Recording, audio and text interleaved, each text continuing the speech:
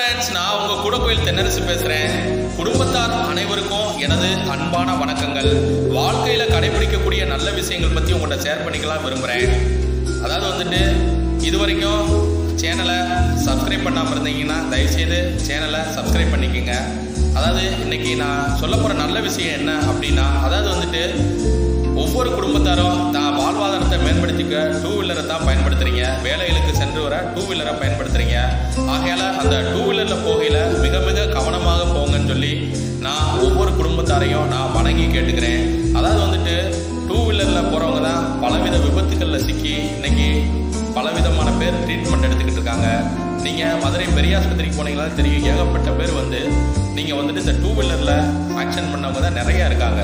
அதாவது கை கால் ஒடிஞ்சு அதே மாதிரி தலையில் காயம் ஏற்பட்டு பல பேர் இன்னைக்கு ட்ரீட்மெண்ட் எடுத்துக்கிறாங்க ஆகவே தயவுசெய்து யோசிக்கணும். டூ வீலரில் போகல. மிக மிக கவனமாக போங்கன்னு ஒவ்வொரு குடும்பத்தாரையும் வணங்கி கேட்டுக்கிறேன். அதாவது டூ வீலரில் போகையில் நீங்கள் எந்த விதமான போதைப் பொருட்களையும் போதை பழக்கங்களையும் பயன்படுத்திக்கிட்டு நீங்கள் வாகனம் ஓட்டி போகிறத தவிர்ப்பது நல்லது. அதாவது ட்ரிங்க் பண்ணிவிட்டு நீங்கள் டூ வீலர் ஓ ஓட்டி போக வேணாம். அதே மாதிரி ஸ்மோக் பண்ணிக்கிட்டே ஓட்டிட்டு போகக்கூடாது. அதே மாதிரி போயில இந்த போதைப் பொருட்களை வந்து பயன்படுத்திக்கிட்டே நீங்கள் டூ வீலர் ஓட்டிட்டு போகிறத தவிர்த்துருங்க. ஏன்னா நீங்கள் இந்த பழக்கங்களை மேற்கொண்டு நீங்கள் டூ வீலர் ஓட்டிட்டு போனீங்கன்னா அது நீங்கள் ஒரு சில விபத்துக்களை ஏற்படுத்தும். நீங்கள் கவனக்குறைவை ஏற்படுத்தும்.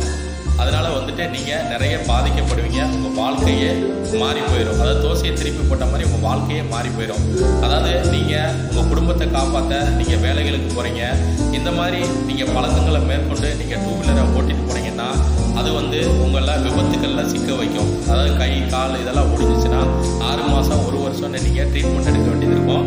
அதாவது உங்கள் குடும்பமே கஷ்டமான சூழ்நிலைகளுக்கு ஆளாயிரும்.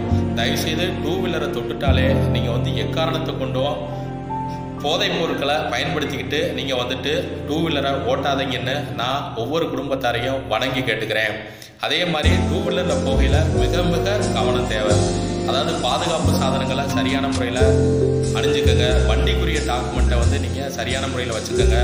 ஒவ்வொரு விஷயத்தையும் நீங்கள் யோசிக்கணும் முன்னெச்சரிக்கையாக செயல்படணும். அதாவது நிறைய பேர் வேகத்தடையில் விழுகிறீங்க. அதே மாதிரி பின்னாடி பெண்கள் வந்து சேலைகள் வந்து டயரில் சிக்கிருச்சு. அந்த மாதிரி மாட்டி கீழே விழுகிறாங்க. அதே மாதிரி சைடு பாதைகள்ல இருந்து வர்றவங்களை பார்க்காம நீங்கள் மோதி விபத்துக்கள் ஏற்படுது. அதே மாதிரி சைடு கண்ணாடியை பார்க்காம நீங்கள் திரும்புறதுனாலையும் விபத்துக்கள் ஏற்படுது. அதே மாதிரி இடைவெளி. கேப்பை மெயின்டைன்ஸ் பண்ணாமல் போனீங்கனாலும் நிறைய பாதிப்புகள் விபத்துக்கள் ஏற்படுது. ஆகையால் நீங்கள் வந்துட்டு டூ வீலரில் போகல மிக மிக கவனம் தேவை.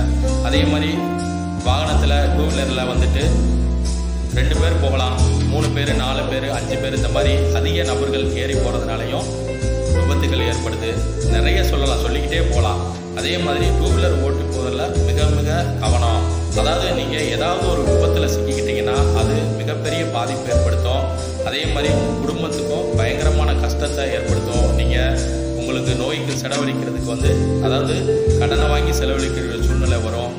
அதே மாதிரி பெரிய பெரிய ஆபத்துக்களை ஏற்படுத்தும். அதே மாதிரி டூ வீலரில் போகல மிக மிக கவனமாக சென்று வாங்கன்னு ஒவ்வொரு குடும்பத்தாரையும் நான் வணங்கி கேட்டுக்கிறேன். நீங்கள் டூ வீலர் வாகனத்தை போகையிலே நான் சொன்ன பழக்கங்கள்லாம் கடைபிடிங்க. அதே மாதிரி தெய்வ வழிபாடும் மிக நல்லது.